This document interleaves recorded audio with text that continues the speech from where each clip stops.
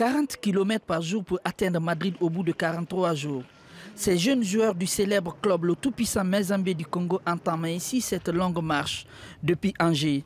Ce n'est pas par hasard qu'ils ont été choisis. J'étais volontaire parmi les 26 euh, académiciens et euh, on a fait un essai de 40 km et c'est les coachs qui nous ont choisis.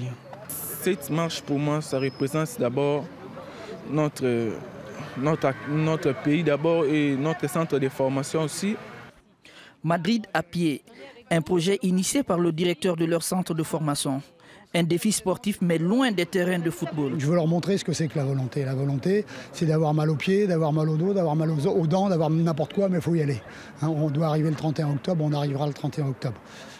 C'est parti pour le périple avec leurs responsables qui les accompagnent. Les amis et la municipalité sont à leur côté pour les premiers pas de l'aventure. Rendez-vous le 31 octobre au stade Santiago Bernabéu du Real Madrid.